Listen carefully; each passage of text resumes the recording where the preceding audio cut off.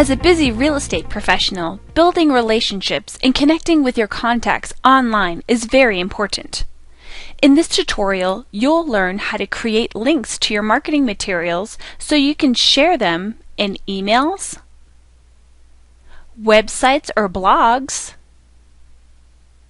social networking sites, and anywhere else you find appropriate. Let's get started.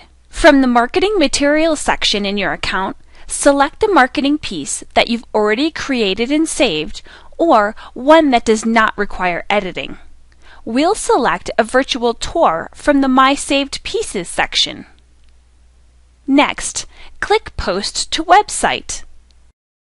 Here you have three options to select from a plain link, text link, or a button.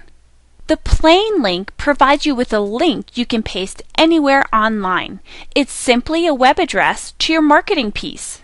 Here are a few examples of how the plain link is used. It's often used in emails.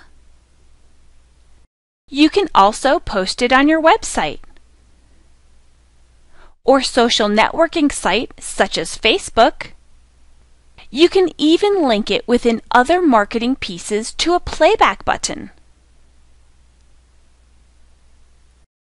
The text link is similar to the plain link option, however you have the ability to modify the link text.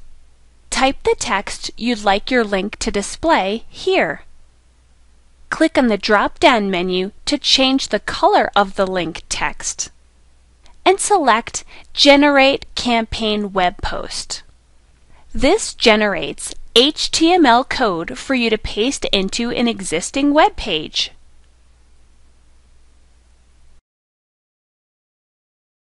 To add a button image that links to your marketing piece, select the button option. Next, click here to change the button style so that it matches the type of marketing material you're posting. In this example, we'll select View My Home Tour and click Submit. Select Generate Campaign Web Post and paste the provided HTML code into a web page or blog.